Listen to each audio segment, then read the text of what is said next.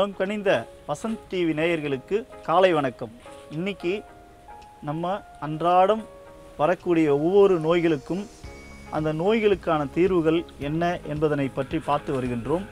உணவே மருந்து என்ற தலைப்பில் ஒவ்வொரு நாள் ஒவ்வொரு மூலிகைகளை கையாண்டு அதன் மூலமாக நாம் எப்படி நோய் தீர்க்க வேண்டும் என்பதனை பற்றி பார்க்கின்றோம். இன்னைக்கு பொன்னாங்கண்ணி தைலம் என்று சொல்லக்கூடிய ஒரு தைலத்தை எப்படி தயார் செஞ்சால் அந்த தைலத்தை நாம் எப்படி உபயோகப்படுத்தணும் என்றது பார்ப்போம். பொதுவாக பொன்னாங்கண்ணி என்றாலே இயற்கையாக கிராமப்புறங்களில் சாதாரணமாக விளையிடக்கூடிய ஒரு மூலிகை. பொன் ஆம் கான் நீ என்று சித்தர்கள் தன்னகத்தே இருந்து அந்த மூலிகையை நாம் பறித்து தைலமாக காய்ச்சி அதை நாம் உணவாக பயன்படுத்தும் போதும் சரிங்க. அதை தைலமாக எடுத்து நம்ம தலையில் தேய்க்கும் போதும் தலையில் இருக்கின்ற சுண்டு பொடுகு முடி கொட்டுறதெல்லாம் கூட அருமையாக நீக்குகின்றதை காண முடியும். அதுவும் இப்போ பார்த்தீங்கன்னா வெயில் காலம். அதிகமாக வெப்ப சலனம் அதிகமாக இருக்கும். அந்த வெப்பத்தினால் வரக்கூடிய வேர்வை மற்றும் பொடுகு இருப்பவர்கள்லாம் பார்த்திங்கன்னா பொடுகு இருக்கிறவங்களுக்கு இந்த வெயில் காலத்தில் அதிக தொந்தரவுகள் இருக்கும். பொடுகு தொல்லையினால் அவதிப்படுபவர்களுக்கு பொன்னாங்கண்ணி தைலம் அருமருந்தாக அமையும். இன்னைக்கு பொன்னாங்கண்ணி தைலத்தை எப்படி தயாரிக்கணுன்றதை பற்றி பார்க்கலாம்.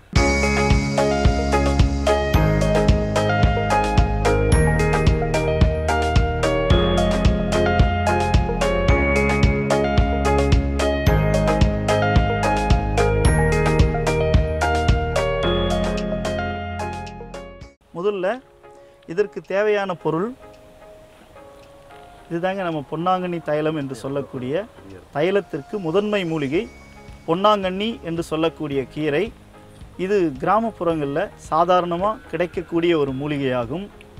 இப்போது இந்த தைலத்தை எப்படி தயார் செய்யணும் அதற்கு என்னென்ன பொருட்கள் தேவை என்பதனை பற்றி பார்ப்போம். நூறு கிராம் அளவிற்கு தேங்காய் எண்ணெயை மரச்செக்கு எண்ணெயை பயன்படுத்துங்க. அதிமதுரம் என்று சொல்லக்கூடிய ஒரு மூலிகை. இந்த அதிமதுரத்தை எஸ்டி என்று சான்ஸ்கிரிட்டில் சொல்வார்கள். இந்த அதிமதுரத்தை இப்போது நம்ம இந்த தேங்காய் எண்ணெயோடு சேர்த்து பொன்னாங்கண்ணி தைலத்தோடு சேர்க்கின்றோம். மேலும் வெள்ளை மிளகு என்பார்கள். இந்த வெள்ளை மிளகையும் இதனுடன் சேர்க்கின்றோம்.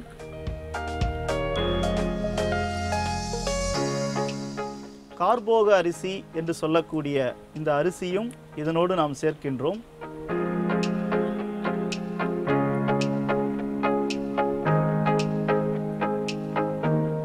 கோரைக்கிழங்கு என்று சொல்லக்கூடிய கிராமத்தில் நிலத்தில் பார்த்தீங்கன்னா இந்த கிழங்கு சாதாரணமாக வளர்ந்துருக்கும்.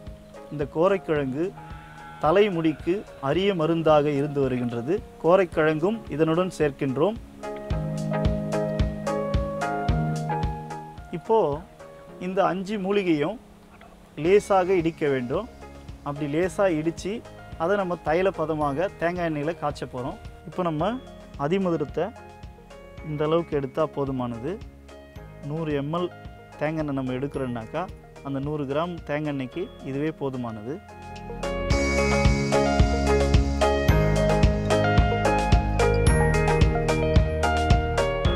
அதே போல் கோரைக்கிழங்கு இந்த அளவுக்கு இருந்த மாதிரி போதுமானது. சிறிதளவு கோரைக்கிழங்கு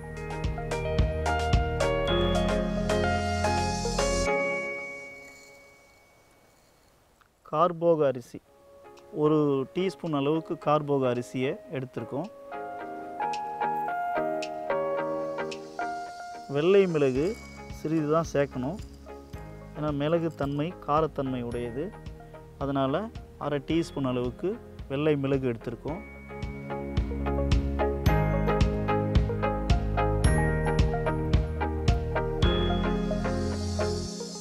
முதல்ல இதை நம்ம லேசாக இடிக்கணும்.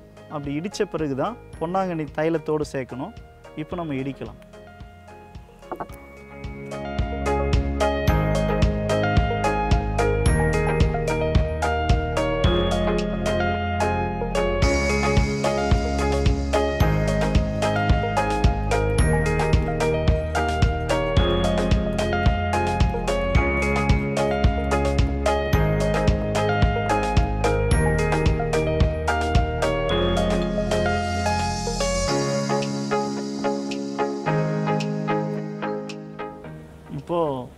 இந்த நான்கு மூலிகையும் இடிச்சிட்டோம். இப்போ நம்ம இதை தேங்காய் எண்ணெயில் இட்டு எப்படி தைலப்பதமாக காய்ச்சறதுன்றதை பற்றி பார்க்கலாம். முதல்ல தேங்காய் எண்ணெயை இப்பொழுது நம்ம காய்ச்ச தொடங்குகிறோம்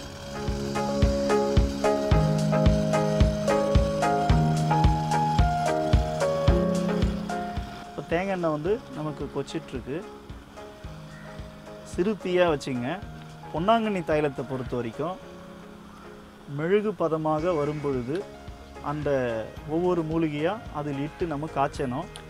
அப்படி காய்ச்சும் பொழுது அந்த முழு பலன் நமக்கு கிடைக்கும். இப்போது எண்ணெய் லேசாக கொதிநிலையில் இருக்கின்றது இப்போது கொஞ்சம் கொஞ்சமாக இந்த மூலிகையை இதனோடு சேர்க்கலாம்.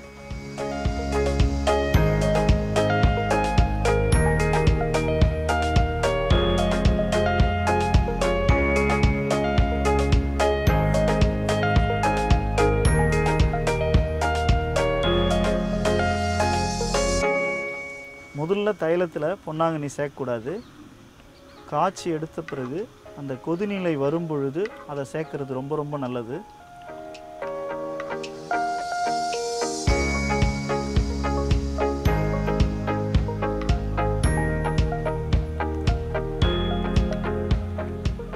இந்த தைலத்தை முடிக்கும்போது கொஞ்ச நேரத்துக்கு முன்பாக அதை லேசான தீ வச்சு அப்புறம் தான் பொன்னாங்கண்ணி சேர்க்கணும்.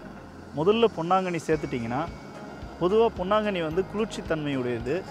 இந்த மூலிகைகள்லாம் போட்டு அது நன்கு நல்லா அதனுடைய கொதிநிலையில் வந்து அந்த மூலிகையின் சாறுகள் அத்தனையும் அந்த தேங்காய் எண்ணெயில் கலந்துருக்கும். அப்போ தான் கடைசியாக தான் நம்ம வந்து பொன்னாங்கண்ணி சேர்க்கணும். அப்போ தான் அந்த மெழுகு பதம் வரும். அப்படி அந்த மெழுகு பதம் வந்த பின்பு அந்த பொன்னாங்கண்ணி தைலத்தை நம்ம இறக்கி உபயோகப்படுத்தலாம். இப்போது இந்த தேங்காய் எண்ணெய் கொச்சிட்ருக்கு. பொதுவாக அந்த தேங்காய் எண்ணெயில் வந்து கோரைக்கிழங்கு நம்ம இட்டு அந்த தேங்காய் எண்ணெயோடு நம்ம கொதிக்கும் பொழுது கோரைக்கிழங்குக்கு ஒரு தன்மை உண்டுங்க. கோரைக்கிழங்கு பூமியிலிருந்து கிடைக்கக்கூடியது. அந்த பூமியிலிருந்து வரக்கூடிய அந்த கோரைக்கிழங்கு சின்ன சின்னதாக இருக்குங்க. அப்படியே ஒரு ஒரு ஸ்ப்ரிங்கு மாதிரி ஒரு ஒரு- ஒரு கே கோரைக்கிழங்கை இன்னொன்று பின்னிட்டு இருக்கிற மாதிரி இருக்கும். கொத்தாகவும் இருக்கும். இந்த கோரைக்கிழங்கு வந்து ரொம்ப நமைச்சல் தரக்கூடிய ஒரு பொருள். இந்த கோரைக்கிழங்கு மனமும் வீசும். நம்ம அந்த கோரைக்கிழங்கை பிடுங்கும் போதே பார்த்தீங்கன்னா மனம் வீசும். அந்த கோரைக்கிழங்கு இயற்கையான மூலிகை சத்துக்கள் நிறைந்தவை. இயற்கை தாது உப்புக்கள் நிறைந்து காணப்படுகின்றன கோரைக்கிழங்கில். அந்த கோரைக்கிழங்கை நம்ம தேங்காய் எண்ணெயில் சேர்த்து அதை நம்ம தீயிலிட்டு இது மாதிரி நம்ம சேர்க்கும் பொழுது அதாவது தைல பதமாக காய்ச்சும் போது அந்த தன்மைகள் மூலிகையின் சத்துக்கள் அதில் இறங்குகின்றன. மேலும் வெள்ளை மிளகு இப்பொழுதெல்லாம் வெள்ளை மிளகு வந்து காண்பதற்கு அரிதாக கிடைக்கின்றது. நாட்டு மருந்து கடையில் போய் கேட்கணும்னு சொல்கிறவங்க ரொம்ப ரொம்ப குறைவு. வெள்ளை மிளகே நிறைய பேருக்கு தெரியாது. வால் மிளகு அப்படின்னு சொல்லுவாங்க. அந்த வால் மிளகு என்பது இந்த மாதிரியான வெள்ளை மிளகு இப்படி தான் இருக்கும் வெள்ளை மிளகு. இந்த வெள்ளை மிளகை இந்த தைலத்தோடு நம்ம சேர்க்குறோம். தைலத்தில் சேர்க்கும்போது பொடுகு தொல்லை இன்றைக்கி நிறைய பேருக்கு இருக்குது அந்த பொடுகு தொல்லைக்கான தீர்வுகள் என்னென்னவோ வைத்தியம் பண்ணுறாங்க ஷாம்புகள் உபயோகப்படுத்துகிறாங்க ஆனால் பொடுகு போல. அந்த மாதிரியான அதுவும் இப்போ பார்த்தீங்கன்னா வெப்பத்தின் காரணமாக அதிகமான வெப்பமான காலம் இது. அதிக வெயில் காயக்கூடிய இந்த நேரத்தில் பொடுகு உள்ளவர்களுக்கு ஒரு விதமான நமைச்சல் ஏற்படும். அந்த நமைச்சலை நீக்கும் அரிய மருந்து தான் வெள்ளை மிளகு. இந்த வெள்ளை மிளகையும் இதனோடு நாம் சேர்த்திருக்கின்றோம். கார்போக அரிசி. இந்த கார்போக அரிசின்றது அரிய காயக்கல்ப மூலிகை. இதெல்லாம் நாட்டு மருந்து கடையில் மட்டும்தான் கிடைக்கும். எல்லா இடத்துலையும் இதை நம்ம பார்க்க முடியாது. இந்த நாட்டு மருந்து கடையில் கிடைக்கக்கூடிய கார்போக அரிசி தேங்காய் எண்ணெயில் இட்டு நம்ம அந்த தைல பதமாக காய்ச்சும் போது ஒரு விதமான மனம் அதிலிருந்து வரும். அந்த மனம் பார்த்திங்கன்னா மிகவும் மென்மையாக இருக்கும். இந்த கார்போக அரிசியின் பயன் என்னன்னு கேட்டிங்கன்னா முடி உதிரல் பிரச்சனை இன்றைக்கி ஏராளமாக இருக்குது அந்த முடி கட்டான மாதிரி இருக்கும். பாதி முடி தான் இருக்கும் பாதி முடி. அதுவும் பெண்களுக்கு கூந்தல் பாதி கூந்தலோடு இருப்பவர்கள் நிறைய பேர் இருப்பாங்க. தோ முடி வேர்க்காலில் அதிகமான வேர்வை வருதல். அந்த வேர்வை வருதலை கட்டுப்படுத்தக்கூடிய ஆற்றல் கார்போக அரிசிக்கு உண்டு. இந்த கார்போக அரிசியை பொன்னாங்கண்ணி தைலத்தோடு நம்ம சேர்த்துருக்கோம். இப்போ அதிமதுரம் அதிமதுரம் என்று சொன்னாலே அருமையான இந்த ஒரு மூலிகை. இந்த மூலிகையில் ஒரு விதமான இனிப்பு சுவை நிறைந்திருக்கும். மேலும் இதை உள்ளுக்கு நம்ம சாப்பிடும்போது வயிற்று புண் என்று சொல்லக்கூடிய அல்சருக்கு அரிய மருந்து. அந்த வகையில் இன்றைக்கி நம்ம பொன்னாங்கண்ணி தைலத்தோட இந்த அதிமதுரத்தை சேர்க்குறோம். அதிமதுரத்தோட பயனை என்னன்னு கேட்டிங்கன்னா தலையில் ஒரு விதமான சுண்டு என்று சொல்லக்கூடிய ஒரு புண் ஏற்படுகின்றது. வாட்டர் கிளாண்ட் என்று சொல்வார்கள். சின்ன சின்னதாக நீர்க்கட்டி. அந்த நீர்க்கட்டி மாதிரி வந்து அதிலிருந்து ஒரு விதமான திரவம் போன்று சுரத்தல். அந்த புண்ணுக்கான வைத்தியம் என்னன்னு தெரியல அப்படின்னு சொல்கிறவங்களுக்கு இந்த பொன்னாங்கண்ணி தைலத்தோட அதிமதுரத்தை சேர்த்து நம்ம பயன்படுத்துகிறோம் பொன்னாங்கண்ணி தைலத்தோட. இதையும் அரிய மருந்தாக இருந்து வருகின்றது. இப்போ தைலம் பார்த்தீங்கன்னா பொன்னிறம் போன்று வந்துவிட்டது. இப்போ இந்த பொன்னிறமாக வந்த இந்த பொருளோட பொன்னாங்கண்ணியை நம்ம சேர்க்குறோம். இந்த பொன்னாங்கண்ணியை இப்போ நம்ம லேசாக கொஞ்சம் கொஞ்சமாக கிள்ளி அதனோட மெழுகு பதம் வந்த தைலத்தில் சேர்க்க போகிறோம்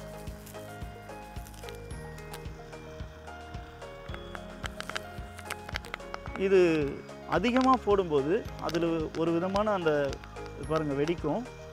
அதனால் லேசாக இட்டு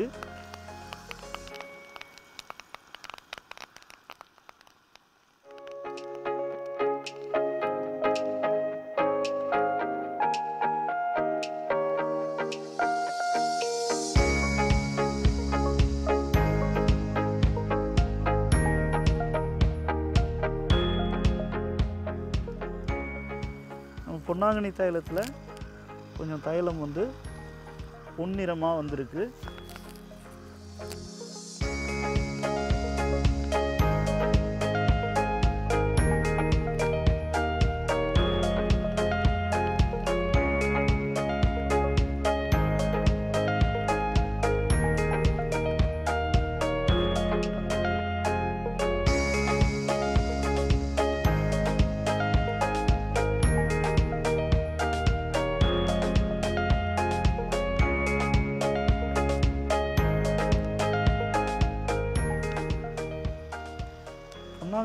பொறுத்த வரைக்கும் ஈரத்தில் நினச்சி அதை கடைசியாக அதை சேர்க்காதீங்க. லேசாக அந்த பொன்னாங்கண்ணியை மண் இல்லாத மாதிரி எடுத்துக்கங்க. இப்போ மண்ணோடு இருக்கின்ற அந்த மண்ணெலாம் மேலே ஒட்டியிருக்கும் பொன்னாங்கண்ணி கீரை மேலே. அந்த மண் இல்லாத அந்த இலைகளையும் அந்த நுனிப்பகுதியும் அழகாக கிள்ளி எடுத்துங்க ஏன்னா அது பொரிய தொடங்கும் அது போடும்போது. அதனால் மண் இல்லாமல் இருக்கிற பொன்னாங்கண்ணி இலையை எடுத்துங்க அது ரொம்ப ரொம்ப சிறந்ததாகும். ஒரு கைப்பிடி அளவு எடுத்தால் போதும். ஒரு நூறு கிராம் நம்ம தேங்காய் எண்ணெய் உபயோகப்படுத்துகிறோன்னா மரச்செக்கு எண்ணெய் உபயோகப்படுத்துங்க. அந்த மரச்செக்கு எண்ணெயில் தான் அதீத சக்திகள் நிறைந்திருக்கின்றன. அந்த மரச்செக்கு தேங்காய் எண்ணெயோடு ஒரு கைப்பிடி அளவு பொன்னாங்கண்ணி சேர்த்து மா சேர்த்து அதை கொதிநிலையில் வரும்பொழுது கடைசி நேரத்தில் அதாவது நம்ம அதிமதுரம் கார்போக அரிசி அதே போன்று கோரைக்கிழங்கு வெள்ளை மிளகு இந்த நான்கு பொருளும் கொதிநிலையில் இருக்கும்போது பொன்னிறம் போன்று வரும் அந்த தேங்காய் எண்ணெய். அப்போ பொன்னிறம் போன்று வரும் பொழுது பொன்னாங்கண்ணியை கொஞ்சம் கொஞ்சமாக அதில் இட்டு லேசாக அதை நம்ம அதில் ஈரத்தன்மை உடையதாக இருந்தால் அந்த பொரியும். அதனால் அதை லேசாக நம்ம வந்து கிண்டிகிட்டே வரணும். தேங்காய் எண்ணெயில் கொதிநிலை வந்துவிட்டது. அந்த கொதிநிலை வந்த நேரத்தில் கடைசி நேரத்தில் அந்த தேங்காய் எண்ணெயோடு பொன்னாங்கண்ணி கீரையை நம்ம சேர்க்கணும். அப்படி பொன்னாங்கண்ணி கீரையை சேர்த்து சிறிது சிறிதாக சேர்க்கும்போது அந்த மெழுகு பதம் வரும். அப்படி மெழுகு பதம் வரும் அந்த பொன்னாங்கண்ணி கீரையோடு சேர்ந்த அந்த தேங்காய் எண்ணெயை அந்த கொதிநிலை இப்போது தைலம் வந்து நமக்கு நேர்த்தியாக வந்துடுச்சு. இப்போ நம்ம இந்த தைலத்தை வடிகட்டலாம்.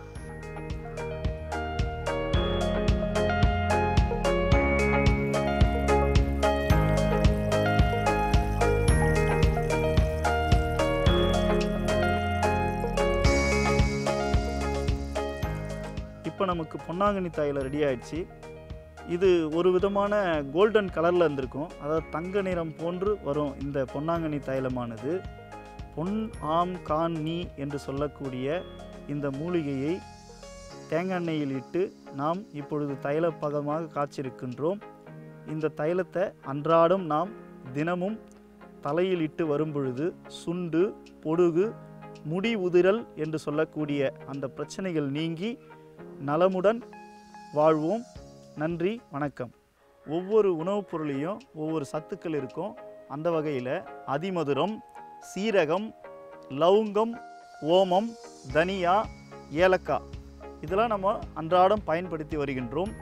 அந்த உணவுப் பொருளை வச்சு இன்றைக்கி ஒரு எளிய உணவுப் பொருளாகவும் மருந்தை தயார் பண்ண போகிறோம் இந்த மருந்தை முறையாக நாம் பயன்படுத்தும் பொழுது வயிற்று பொறுமல் என்று சொல்லக்கூடிய நோயும் வாயு தொந்தரவும் இன்னைக்கு கேஸ்ட்ரிக் இல்லாத மனுஷனே கிடையாதுன்னு சொல்லலாம்.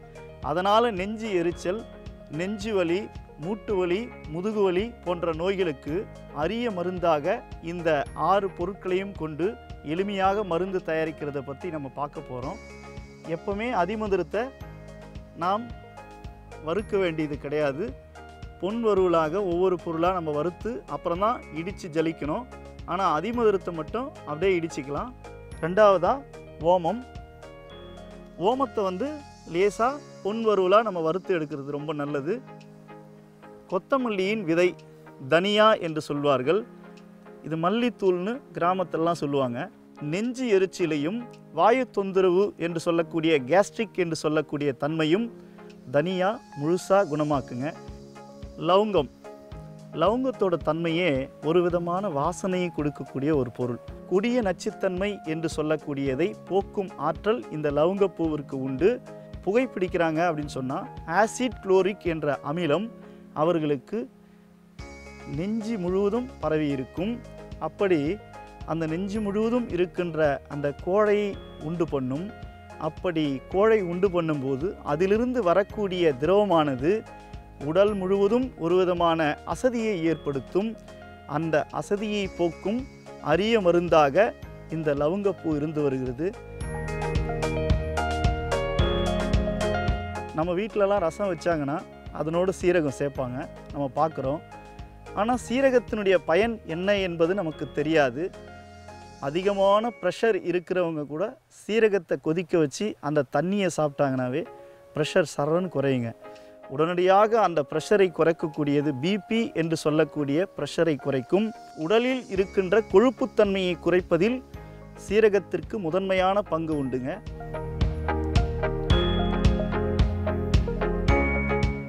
ஏலக்காய்.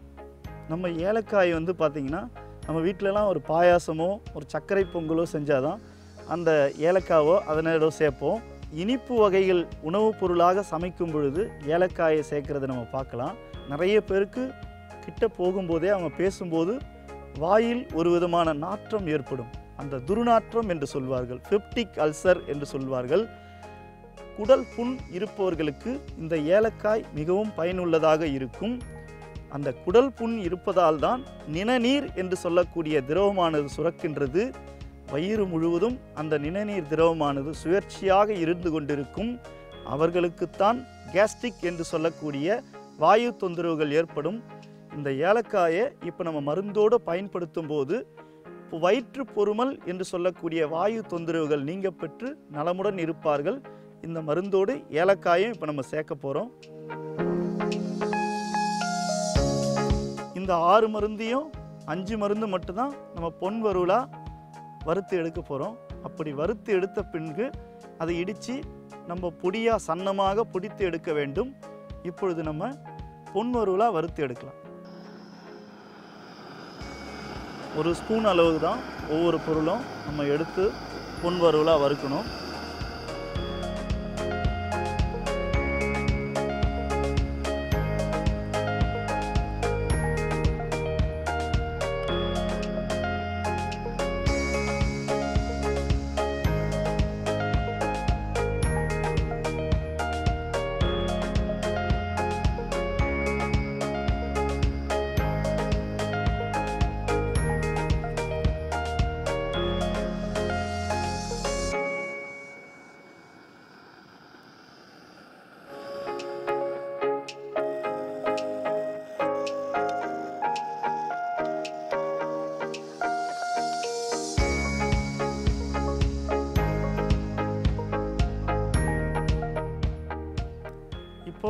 பொன்வருவலாக இந்த மூலிகை பொருட்களை நம்ம வறுத்து எடுத்துட்டோம்.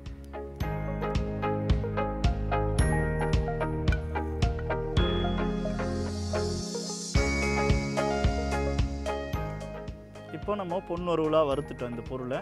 இப்போ இடிக்க போகிறோம்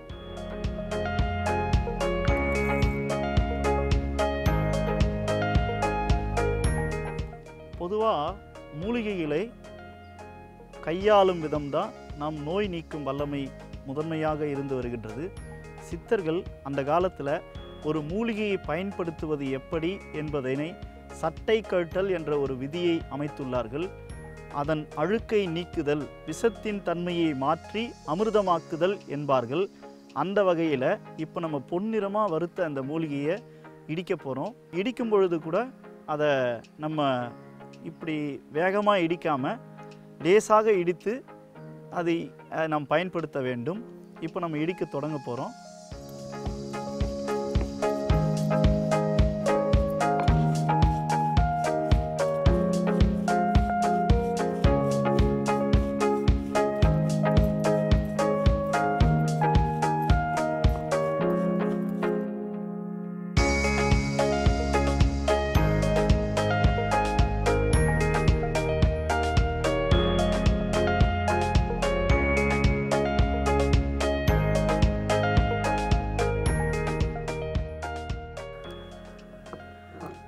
நம்ம இந்த மூலிகைகளை ஒன்றாக சேர்த்து அரைத்து விட்டோம்.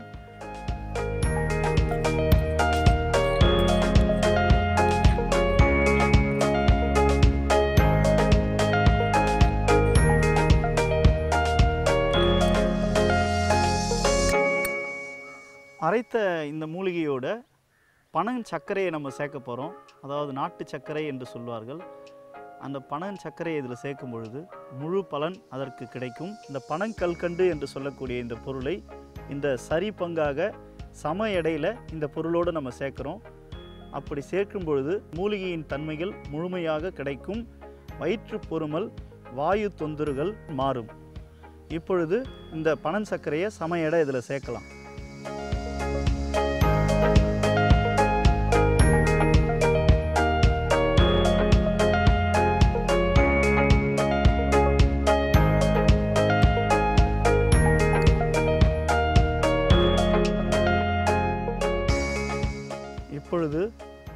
வயிற்று பொறுமல் வாயு தொந்தரவு என்று சொல்லக்கூடிய கோளாறுகள் மேலும் மூட்டு வலி முதுகு வலி இடுப்பு வலி என்று சொல்லக்கூடிய தன்மையில் இருப்பவர்கள் அவர்களுக்கு அரிய மருந்தாக இந்த மருந்து அமையும். மேலும் இந்த மருந்தை உட்கொள்ளும் பொழுது இதை நாம் தயாரிக்க வேண்டும் என்று எண்ணுபவர்கள் மிக்சியில் கூட நீங்கள் இதை பொன் வறுவலாக வறுத்துட்டு அப்புறம் அரைச்சிக்கலாம்.